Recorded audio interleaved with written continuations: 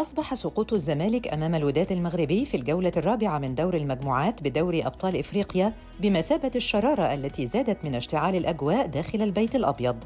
أجواء كان متوقع هدوءها عقب إقالة الفرنسي باتريس كارتيرون وتعيين البرتغالي فيريرا مديراً فنياً. إلا أن تلك التوقعات ذهبت أدراج الرياح بعد الخسارة مساء الجمعة من الوداد المغربي بهدف دون رد على استاد القاهرة.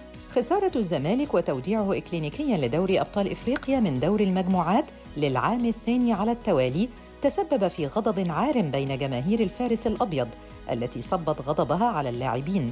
في الوقت الذي أجبرت فيه الخسارة مجلس الإدارة على اتخاذ قرارات لتصحيح المسار خلال المرحلة المقبلة. وأعلن مجلس الإدارة عقب الخسارة أمام الوداد مباشرة عدم تجديد عقود اللاعبين الذين تنتهي عقودهم نهاية الموسم الجاري. وفي مقدمتهم المغربيان أشرف بن شرقي ومحمد أونجم بالإضافة إلى طارق حامد وعمر السعيد والحارس محمد أبو جبل علاوة على عرض التونسي سيف الدين الجزيري للبيع. وإيقاف مستحقات جميع اللاعبين حتى نهاية الموسم وتصعيد بعض العناصر المميزة من فريق الشباب والدفع بهم في بطولات الدوري. قرارات مجلس إدارة الزمالك وجدت صدى واسعا بين الجماهير التي أيدت تلك القرارات متمنية أنها تكون بداية تصحيح مسار الفريق وعودته إلى المنافسة على البطولات مرة أخرى.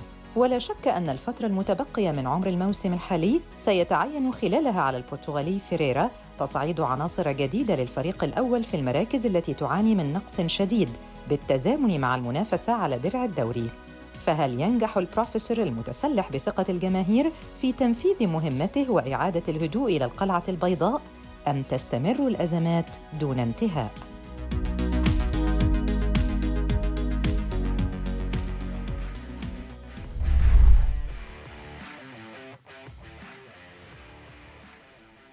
يا أهلا بحضراتكم مرة أخرى شرفني ومنورني في هذه الفقرة الاصدقاء الأعزاء أحمد فوزي العريان ومحمود ضياء يا أحمد مشرف ومنور.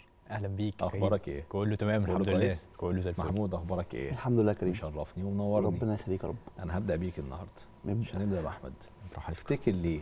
عشان مانشستر أكيد. تفتكر ليه يا أخي؟ عشان رونالدو. يعني أخي يعني أول مرة نتقابل وإحنا مبسوطين. رونالدو. شفت بقى؟ رونالدو. احكي لي احساسك النهارده وانت بتتفرج على المباراه دي وبتتفرج على ماجواير. أنا لسه كنت كان بيتفرج معايا بعيدا أصلا عن ماجواير يعني. بص أصلا السؤال ده بعيدا عن ماجواير. خدته في- خدته في السما ورحت. هوبا خد بقى لسه ماجواير كنت بتكلم مع فوزي قبل ما قبل ما ندخل حتى. بقول له الجون أو الأجوان اللي جابه رونالدو مش بس إن هو بيسجل. لا هو أنت بتفتكر لما كان بيسجل شبهها في 2007 وفي 2008 2006 كنت انت بتحس بإيه؟ طلعت قصة مميزة. عايز آه تحكيها. يعني لاعب حد صغير انت شخص صغير. رونالدو النهارده بيسجل هاتريك مع مانشستر تاني هاتريك ليه. فأنا افتكرت أول هاتريك أنا كنت فين. كان عندي امتحان. 14 سنة. آه في 2008 12 يناير 2008 14 سنة وشهرين بالظبط.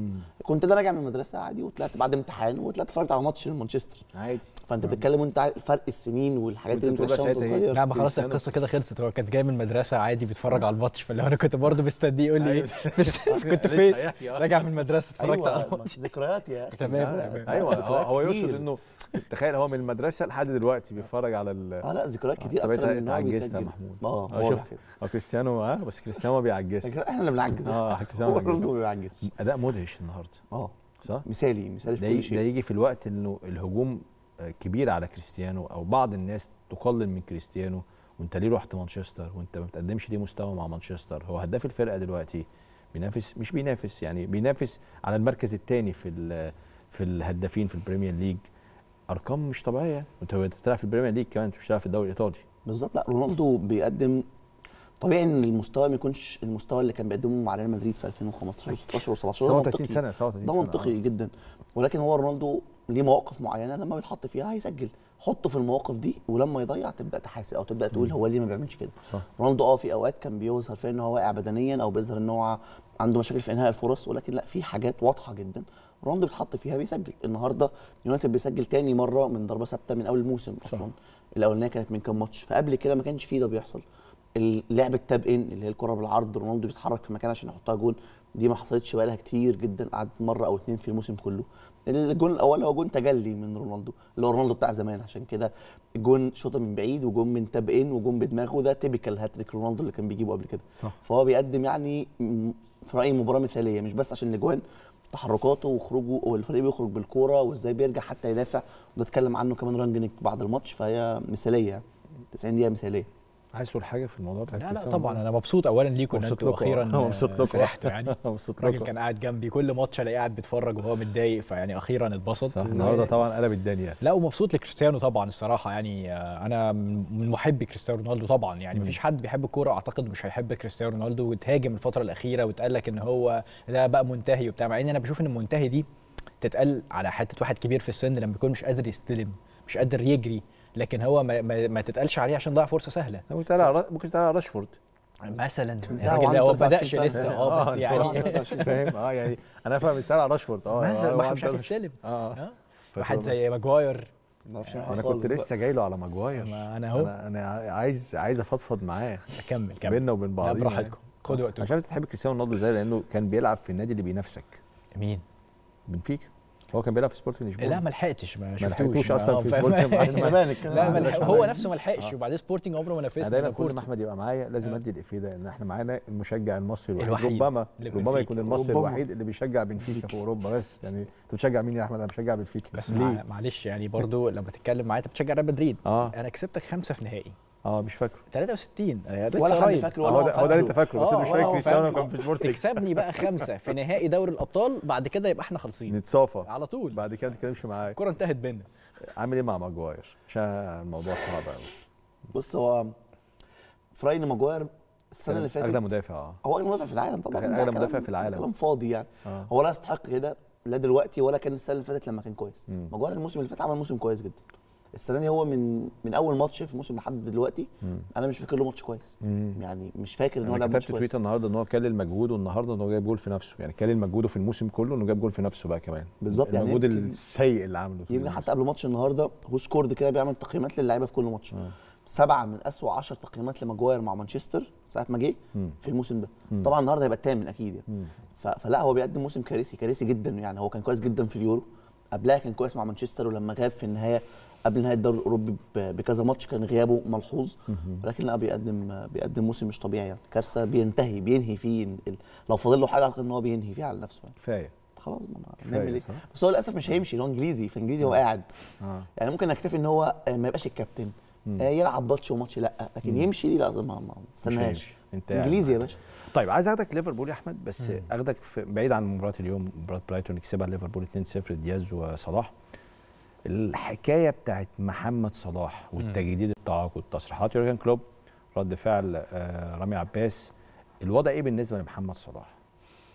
يبدو إن آه، طبعا هو الأكيد إن هم لسه ما توصلوش لاتفاق حتى. دوت من الكلام الرسمي بتاع يورجن كلوب إن هو إحنا خلاص قدمنا العرض اللي هو اللي هنقدر عليه كنادي ومنتظرين رد محمد صلاح اللي ما ردش لا بالإيجاب ولا بالسلب حتى الآن ده كلامه الرسمي رد فعل وكيل محمد صلاح اللي هو رامي عباس بيو بيظهر إنه مثلا اللي هو إيه لما طبعا هو حط ايموجيز بتضحك فده معناه إن هو إيه لأ يعني إحنا بتحاول تحطنا تحت الضغط لأ إحنا مش تحت الضغط. مم. يبدو على الأقل أنا فهمتها كده. هل محمد صلاح هيكمل ولا لأ؟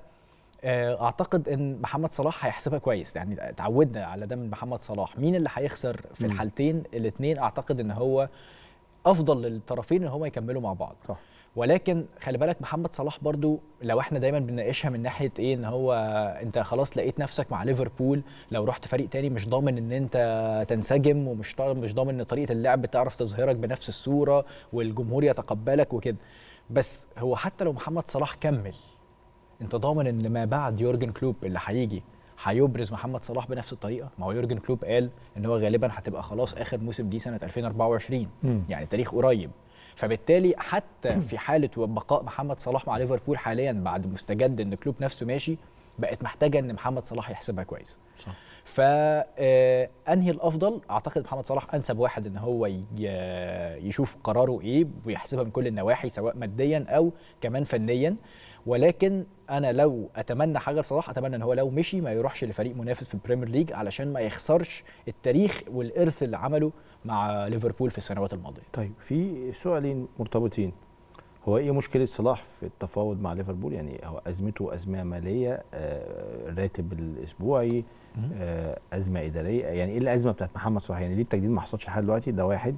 اتنين طب هو صلاح لو مشي أصلا من ليفربول مين يدفع ثمنه ومين يدفع الراتب اللي هو عايزه محمد صلاح دلوقتي في السوق؟ حالة الإفلاس اللي في السوق العالمي دلوقتي في الكورة يعني. هو الإجابة الأولانية آه الموضوع آه. بالظبط. سقف الرواتب في ليفربول. فيرجيل فان دايك لما جدد آخر حد هو أعلى واحد في الفرقة بياخد آه، فلوس 220 ألف استرليني الراتب الصافي. وده يفرق عن صلاح بالمناسبة 20 ألف استرليني بس عن راتب صلاح الحالي. طبيعي إن صلاح في آخر عقد كبير ليه منتظر كده. ومنتظر إن هو يكون بي upgrade نفسه ماديا. ده آخر عقد كبير غالبا في مسيرته لأن هو دلوقتي 29 سنة. بس في نفس الوقت كريم في حاجة تانية محتاج يتبص عليها من الناحية التانية. آه. طيب دلوقتي ليفربول قرر إن هو مش هيجدد مع صلاح بس مش هيبيع صلاح. فصلاح هيكمل معاه لحد ما يخلص عقده. هيبقى ساعتها 31 سنة. هل في فريق هيقدر يخاطر بلاعب 31 سنة يديله عقد كبير بالرقم اللي كان هيبقى عقد صلاح؟ ولا لأ؟ ده سؤال مهم جدا. صح. دلوقتي مين ممكن ياخد محمد صلاح؟ القوى الكبيرة في في العالم في قصة الفلوس دي مانشستر سيتي ريال مدريد باريس سان جيرمان. هم دول الثلاث فرق دول. الكلام كمان اللي ظهر من فابريزيو رومانو اللي هو في سكاي سبورتس إن صلاح ممكن ما يكونش عنده مانع يروح للفريق في ال Premier League. وساعتها دي تبقى مشكلة. في رأيي إنها تكون مشكلة طبعا كبيرة. طبعا. لأن جمهور ليفربول بيعامل صلاح معاملة الأساطير دلوقتي. هو فعلا بأرقامه وباللي بيقدمه يستحق معاملة الأساطير. فمش هيبقى كويس إن هو يخسر ده. إحنا بنتكلم اللي يدفع هو مانشستر سيتي. بالظبط. أنت يعني رايح لمنافسك المباشر على حتى اللقب حتى دلوقتي. تشيلسي لو كان أنت تقدر تقول يبقى تشيلسي مشاكله يشيلها بقى يعني. ما شاء الله أعلم ما يحصل إيه بعد المشاكل اللي أنت موجودة ما دلوقتي عندكش. أصلا حد يقدر يدفع فلوس غير مانشستر سيتي. أو قد يكون نيوكاسل القوى الصاعدة ماديا بعد ما هيضمنوا البقاء السنة دي في نيتهم إن هم يصرفوا بقوة برضه. فصلاح محتاج أعتقد الطرفين محتاجين يحافظوا على بعض زي ما أحمد كان بيقول. الحاجة الأهم كمان هي صلاح. آه هو طالب راتب أعلى ولكن في المقابل محتاج يبص على أسطوريته في ليفربول. لو ليفربول قدر يحقق مع صلاح أو مع الجيل الحالي عموما لقب دوري تاني فهيعادل رقم مانشستر يونايتد. التاريخ وجمهور ليفربول من ساعة أي حد عايش بيشجع ليفربول ولحد الآخر عمره ما حد هينسى الجيل اللي رجع الدوري بعد 30 سنة اللي كان منه محمد صلاح والجيل اللي هيعادل رقم مانشستر يونايتد قبل ما يونايتد يكسب الدوري 21 الحالتين دول اللي لو دول لو اتحققوا في نفس الجيل الجيل ده هيكون أسطوري مهما كان هو مين. وطبعا صلاح maximum بنهايتك لو انت بتتكلم عن مين اهم لعيبة في ليفربول أقل حاجة ممكن تحطها صلاح اللاعب التاني. يعني هيكون أول يا هيكون تاني مش هيكون بعد كده. فالتاريخ هيتذكر ده الجمهور بيحبه الناس كلها في الشوارع بتحبه. فدي حاجة مهمة جدا لازم تتحط كفاكتور مهم وانت بتحسب هل انت عايز تجدد ولا لأ. في نفس الوقت كليفربول انت محتاج تقيم اللاعب اللي انت هو الأهم أو هو أكتر لاعب جايب مسجل أهداف أو مؤثر مع الفريق من ساعة ما جه في خمس سنين. صلاح بيكسر ارقام أو بيوصل لأرقام ما حدش بيوصل لها قبله أو وصل لها عدد قليل جدا من اللعيبة قبل كده. فده معامل تاني مهم جدا. ففي رأيي إن الاثنين كل واحد فيهم محتاج يتنازل عن جزء عشان يوصل لاتفاق في حالة الرحيل الطرفين هيخسروا مؤكد بلا اي شك. مفيش حد فيهم هيبقى كسبان ولا حد فيهم مش هيتأثر الطرفين هيتأثروا. طيب قبل ما نروح لفاصل وقبل ما أخش على الزمالك والأهلي أنا حبيت ابدا معاك كورة عشان نهدي أعصابنا شوية عشان ما نروحش للنكب بتا- اللي حصل من الزمالك والأهلي. مباراة ريال مدريد وباريس سان جيرمان آه كانت مباراة عظيمة مباراة العودة تحديدا. بس تحديدا باريس سان جيرمان هو بالنسبة لي لغز. فرقة عندها كل النجوم الممكنة عندها كل الأسماء الممكنة. تقريبا كان كريم بنزيما اللي بيلعبهم لوحده. هو وفينيسيوس كمان عمل شوية أو شوية حركات في الشوط الثاني يعني. بس أنا إيه اللي ينقص؟ باريس سان جيرمان بالكلام المنطقي العاقل عشان يبقى فريق قوي جدا ويكسب بسهولة كمان. بص هو مبدئيا طبعا باريس سان جيرمان فريق قوي ولكن بتشعر إن هو باريس سان جيرمان بيهتم بجلب الأسماء يعني ال- ال- المع- المعضلة دي كان بيعاني منها على فكرة ريال مدريد في فترة مثلا الجلاكتيكوس طبعا إن أنت عايز هات فيجو هات بيكهام وهات آه، أنت بتجيب أسماء لمجرد إن هي وزنها. قوية جدا في صح. فرقها مش آه. لمجرد إن أنت محتاجها فعلا في. تشفي عشان تدعم قائمتك وتكون قائمه متكاملة أعتقد ده باريس سان جيرمان وقع فيه السنة دي وأنا كنت على فكرة بقول كده من أول الموسم مم. يعني أنا بشوف إن بعض الصفقات اللي ابرمها باريس سان جيرمان انت لما جبت أشرف حكيمي مثلا أشرف حكيمي كان بيلعب مع إنتر في بخطة إن هو ال wing back مش صح. ظهير أيمن. صح. فأنت جبته عشان تلعب بيه أربعة. هل هو الأنسب ليك ولا لأ؟ مم. أنت جبت سيرخيو راموس اللي هو قلب الدفاع اللي هو أساسا خلاص المفروض إن هو بيبطل يعني. فأنت مم. جايبه على أساس إن هو هيلعب فين؟ هو مش هيلعب أساسي عندك حتى لو كان سليم. هو أساسا بقى جاي يتعالج من ساعة لما جه. أنت جبت ليونيل ميسي. طبعا صفقة لا ترفض. بس أنت عشان تجيب ليونيل ميسي لازم تجيب الأدوات اللي تطوع عليها الخطة عشان تكون مناسبة لليونيل ميسي بما إن ميسي صفقة ما ينفعش إن أنت تقول لها لأ. مم. في نفس الوقت أنت عندك كيليان إمبابي وعندك آه، دي ماريا دي ماريا امبارح كان بيلعب بديل. ما وعندكش المدرب اللي بيقود المنظومة دي كلها وعلى نفس شخصيته ماوريسيو بوتشيتينو. فأنا بشوف إن باريس سان جيرمان بينقصه اولا اللي هو الفكر الإداري الصح في تنظيم احتياجاته. ثانيا بناء الشخصية. الشخصية آه دايما يقول لك إيه أصل باريس سان جيرمان ما عندوش شخصية. بس جزء من الشخصية ال- الفرق بتكسبها من مدرب من قوة مدربينها. مهم. يعني مثلا مورينيو لما مسك تشيلسي في 2004 و2005 ما كانش تشيلسي إن فريق منافس على الألقاب. ولكن تش- مورينيو صنع شخصية تشيلسي الفرق القوي وحوله من فريق اللي هو من ضمن اللي هو إيه كان فريق كويس في إنجلترا. لا اللي من ضمن كبار إنجلترا بسبب شخصية المدرب. أعتقد هي النقطة دي اللي بتنقص باريس سان جيرمان حتى الآن اوروبيا إن أنت تجيب المدرب القادر بشخصيته إن هو يفرض الحزم في بين اللاعبين والحزم على الإدارة قبل اللاعبين في تحديد الصفقات علشان بالتا- بالتالي يبقى ليهم وزن في الملعب ما تبقاش جول يهدهم بعد ما كانوا هم متسيدين المباراة على مدار الذهاب وكمان الشوط الأول في الإياب غلطة من آه، دوناروما تخلي الفريق كله يقع ويستقبل الأهداف قدام زي ما انت قلت لاعب واحد اللي هو كريم بنزيما. صح. كريم بنزيما بقى شخصيا أنا من سبع ثمان سنين بنزيما في ريال مدريد من 2009 جيل يعني. من سبع ثمان سنين أنا كنت بتعامل مع بنزيما ده إنه لو جه عندنا في الدوري المصري هرفض إنه يلعب أساسي. تمام؟ في تحول. طبعا أنا ببالغ. يعني وقتها كنت ببالغ يعني بهزر. بس في تحول لبنزيما من من مهاجم أقل من العادي أو كنت متصوره كده أقل من العادي أو نعتبره عادي لمهاجم مش طبيعي خيالي تاريخي لريال مدريد. في حاجة في تحول غريب في مستوى كريم بنزيما إيه اللي حصل؟ وطبعا مش هنختلف إن بنزيما شم نفسه كده بال- بال- بالبلدي بعد. ما خرج كريستيانو رونالدو لأن هو بقى في المكان الأقرب. ولكنه في خلال سنينه مش طبعا مش في كلها إن أنا في رأيي المهاجم طالما انت مركزك مهاجم وظيفتك هي الأولى إن انت تسجل أهداف. كونك بتفتح مساحات تخرج من المنطقة تصنع فرص تعمل أي حاجة في الدنيا ده مطلوب في الكرة دلوقتي. ولكن من غير مش من غير ما تعمل الحاجة الرئيسية بتاعتك. دي كانت حاجة ما بيعملهاش كريم بنزيما بالشكل متتالي أو بشكل طبيعي ككل ككل مباراة. ودي كانت مؤثرة جدا مع جمهور ريال مدريد أو على تقييم كريم بنزيما عموما. لكنه كلاعب كرة قدم لو هو مش مهاجم فهو كان بيقدم مستويات كويسة مقبولة. مرتفعة. مش هتلاقي دايما ليه تقييم واحد. كل كام ماتش هتلاقي تقييم مختلف لكريم بنزيما.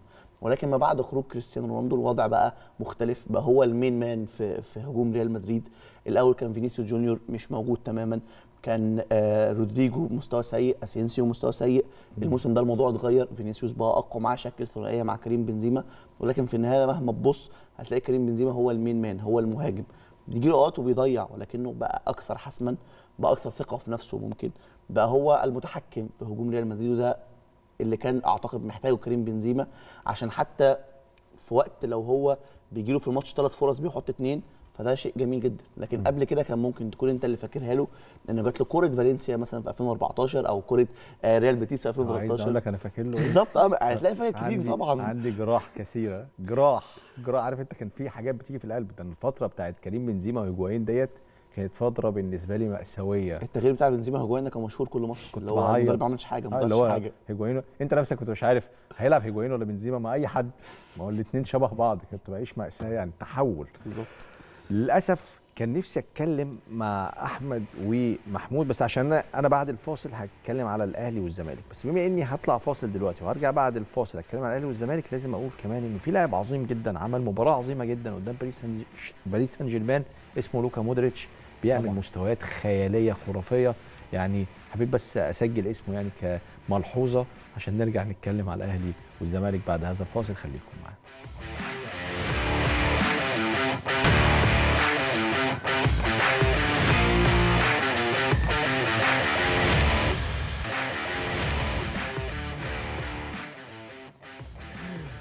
أنا بحضراتكم مرة أخرى في الفاصل كنت بقول لأحمد يعني كريستيانو لو شدت حيله باثنين هاتريك كمان ممكن ياخد اللقب ده من صلاح وده اللي إحنا مش عايزينه يعني آه خلاص طبعاً. ياخد صلاح الهداف ونحب كريستيانو بس من بعيد يعني وراح فوزي قال لي اثنين هاتريك يعني آه، لحد ما يعتزل يعني ولا إيه؟ ما حددتش ما حددتش فترة. زمنية عايز واحد بينهم يوم الثلاث الجاي بس. يوم الثلاث آه سيميوني حبيبي. آه أتلتيكو سيميوني بقى آه بيحبه هو قوي تحس إن هو عمل البروفة النهارده عشان سيميوني يا. كده طيب هسألك سؤال الأهلي والزمالك بطريقة تانية. إيه وجه التشابه في اللي حصل من الزمالك امبارح والأهلي النهارده؟ وجه التشابه. آه إحنا عايزين غير النتيجة. آه. لا إحنا ممكن نقول وجه التشابه ما بين الموسم الماضي ما بين للفريقين والموسم الماضي براحتك. للفريق الحالي. فاهم؟ يعني أنا آه. حاسس إن إحنا في حالة déjà vu آه. الزمالك السنة اللي فاتت بدأ دور المجموعات بتعادل على أرضه في مباراة مفترض إن هي one side game ويكسبها. فعقدت ظروفه. فخرج اتعادل مع السنة اللي فاتت مع تونجث السنة دي مع آه الفريق اللي هو سجرادا. دوت اللي هو أضعف حلقة في المجموعة بره أرضك. فبعد كده رحت طالع بقى للترجي المره دي الوداد اللي هو بره أرضك لازم ما تخسرش عشان تحافظ على آمالك لا ده انت خسرت ذهابا وايابا مم. فبقى فاضل لك جولتين الفرق بقى إن المرة اللي فاتت كان آه، اتحاد العاصمة ادالك الأمل إن أنت ممكن تبقى عندك فرصة في آخر جولتين المرة دي بيترو أتلتيكو كسب وأنهى الامال مبكرا فالزمالك ودع. وكأن ما حدش بيتعلم من أخطائه. الزمالك ما بيتعلمش من أخطائه. في المقابل الأهلي للسنة الثالثة على التوالي بيعاني من دور في دور المجموعات وبيتأهل في النهاية كتاني المجموعة. فبعد كده بيبدأ إن هو يتحسس طريقه إلى ال- الطريق الصحيح يعني بداية من الأدوار الإقصائية. فأنا حاسس إن إحنا بنعيش مع الأهلي والزمالك حتة ديجافو. طب إيه الأسباب؟ أعتقد قد يكون الأسباب في توقيت إقامة دور المجموعات من آه، دوري أبطال أفريقيا للفريقين. التوقيت اللي إحنا عندنا فيه الأهلي والزمالك والفرق المصرية دايما بتكون مضغوطة بمباريات أكتر من أي وقت تاني بسبب مواعيد انتهاء الموسم عندنا الغريبة مختلفة مقارنة بالدوريات الإفريقية كلها. يعني إحنا بنتكلم إن دلوقتي آه، الدوري التونسي 14 فريق فاللي هو بي- بينتهي بسرعة. الدوريات في إفريقيا أصلا بتقام تبدأ في يناير ل 12 يعني بنظام السنة مش بنظام ال season اللي هي 2021 22 زينا فأنا حاسس إن هو توقيت إقامة دور المجموعات مع بعض الأخطاء اللي بالنسبة للزمالك اللي هو ما بيعالجهاش وبيقع فيها كل مرة هو دوت السبب الحقيقي في إن إحنا حاليا بنعيش حالة ال déjà vu ما بين الأهلي والزمالك بيعملوها لنا في دور المجموعات. طيب. الأهلي فرصته لسه قائمة بس الأهلي تحسه النهارده أنا وقلت لك الكلام ده قبل كده. أنا فكري من من الأهلي إن أنا أشوفه زي مانشستر سيتي مثلا. أنا بطل القارة موسمين متتاليين. أنا واخد البرونزيه كأس العالم موسمين متتاليين. فينزل قدام أي فرقة هو دايس بنزين على الآخر وبيهاجم وبيضغط وبيسجل أهداف كتير. ليه الأهلي يظهر في أفريقيا بالشكل ده؟ أنا بالنسبة لي لو اتكلمنا عن ماتش النهارده كريم في حاجات كتيرة مؤثرة في ماتش النهارده. أول عامل مش هقول إن هو الإجهاد بس لأ خلي الإجهاد بعد كده. أول عامل إنه ممكن جدا يكون اللعيبة واصل في دماغها إن أنا يحصل اللي يحصل أنا هكسب ماتشين هنا وهصعد. الهلال والمريخ. بالظبط. دي الحلقة اللي كده كان مش لاعب المريخ في السودان أنا جت. جت في بالي الفكرة دي النهارده. دي حاجة من الحاجات. الحاجة الثانية هي عامل إجهاد بس مش كل squad الأهلي مجهد. برافو عليك. يعني علي معلول مجهد. علي معلول النهارده دفاعيا سيء جدا مم. ولكنه هجوميا كان هو الوحيد اللي بيحاول يلعب الأوفرات اللي صح. كان موسيماني بيطلبها لدرجة إن الكاميرا جت عليه بعد كده هو بيقول لهم أنا بقى العبوا عرضيات. صح. ومعلول كان هو اللي بيعملها. دي النقطه النقطة الثانية عمرو السولية. مم. واضح جدا إن هو مش من اول من أول دقيقة في الماتش هو مش مش مش جاهز. آه وارد تكون الخبطه اللي اتخبطها أثرت عليه ولكنه بوضوح جدا مش جاهز. حمدي فتحي نفسه مش جاهز. مم. كريم فؤاد مش هقدر ألومه بصراحة هو الراجل يعني في خضه وبعد كده خرج خرج مصاب. بيرسي تاو من بعد الإصابة هو مش موجود مش صح. بس النهارده صح. محمد مجدي قفشه علامات استفهام كتيرة جدا على قفشة وشريف الثنائية دي مم. عليها علامات استفهام كبيرة جدا مم. فما بين إن اللعيبة وطاهر جزء منهم مجهد طاهر محمد طاهر في مركز غريب يعني في مركز بالنسبة لي غريب جدا إن يلعبوا طاهر مم. لو كان هيلعب المركز ده ممكن تبقى حسين الشحات على اعتبار إن هو لعبه أصلا قبل كده ولكن ما تعرفش إيه اللي حصل في الكواليس مم. يعني فبالنسبة لي الموضوع متقسم ما بين لعيبة مجهدة وهي من من العصب بتاع الفريق ولعيبة بتمر بفترة توهان كبير ولعيبة محتاجة هي نفسها تقف مع نفسها شوية عشان يعني في فترة مصيرية. بالنسبة لهم هم كلعيبه في النادي الأهلي وبالنسبة لهم كشكلهم قصاد ال- قصاد الجمهور. صح. ما زال في النهاية زي ما انت قلت الأهلي فرصته في إيديه. قدامك ماتشين لو كسبتهم حتى وإن تعادلت مع المريخ وبعد كده كسبت الهلال تقدر تصعد كتاني مجموعة. ودي حاجة متكررة. ولكن وارد جدا برضو حاجة أخيرة إن يكون التركيز كله كان في إزاي ان انت تكسب بيراميدز وده اللي باين قوي من تصريحات موسيماني تصريحات اللعيبة. موسيماني أول تصريح قاله بعد التجديد مع الموقع الرسمي بتاع الأهلي قال إن أنا كان عايزين نكسب ماتش عانينا آخر 15 شهر عشان نكسبه. فواضح إن المباراة في- أذهان الجميع. صح. دي الأسباب اللي ممكن تكون عملت كده. محمود شرفت ونورت كالعادة. أنا بشكرك شكرا جزيلا. ربنا يخليك كريم. شكرا أحمد جدا. كالعادة بسعد جدا بتواجدك معايا. ربنا يخليك، شكرا شكر. جزيلا. دي كانت نهاية حلقتنا النهارده من رقم 10 يا رب تكونوا استمتعتوا معانا وأشوفكم يا رب على خير.